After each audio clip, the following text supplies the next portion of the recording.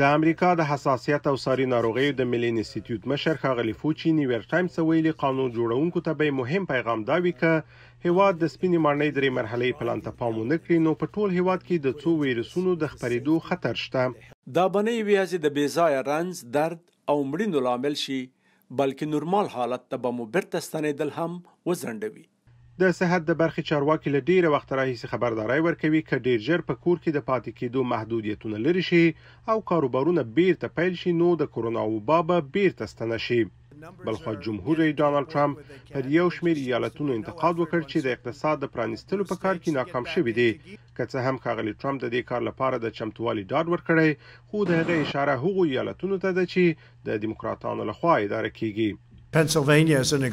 پنسلوانیا یو مثال دی، که څو نورو ایالتونو ته وګورئ، زه د نورو تفصیل ته نه ځم، خو خلک غواړي بیرته کارون ته ستانه شي، هغوی غواړي کاروبار بیرته فعال شي، خو په یو شمیر ایالتونو کې چې دیموکراتان په اقتدار کې دي، د بیرته پرانیستلو لپاره هڅې نه کیږي.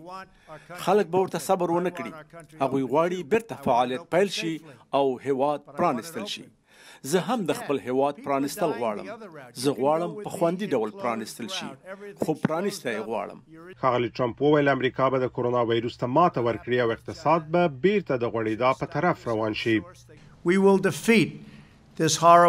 موږ به دې ناوړه دښمن ته ماتې ورکړو، خپل اقتصاد به بیرته په پښو ودروو او غوره حالت ته به ستانه شو. تاسې به دغه راز خبرې ډېرې واورئ، ځکه دا هغه څه دي چې پېښېږي.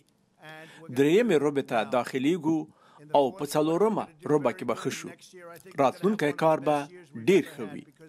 جمهور رئیس ټرمپ وویل د هغه د مرستیال مایک پنس د کرونا نتیجه منفي وه. ښاغلي پنس وروسته له هغه ځان قرنطین کړ چې د مطبوعاتو مسؤل یې په کرونا ویروس اخته شوی و.